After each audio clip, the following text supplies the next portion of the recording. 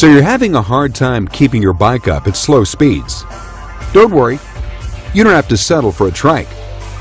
Retracta-Trike gives you the stability of a trike or the feel of a motorcycle. Here's how it works. With the flip of a switch, you can go from a two-wheeler to a trike. It's that simple. Instead of putting your feet down, flip a switch to lock in stability and lock out the embarrassment of dropping your bike. Once you get rolling, unlock the wheels and enjoy two-wheeled handling, which is why you started riding in the first place. Now you can use the wheels instead of your feet when you start and stop. With Retracta-Trike, a computer doesn't make the decisions for you. You're in control. Retracta-Trike provides stability even in the worst conditions like stop-and-go traffic or soft sandy roads.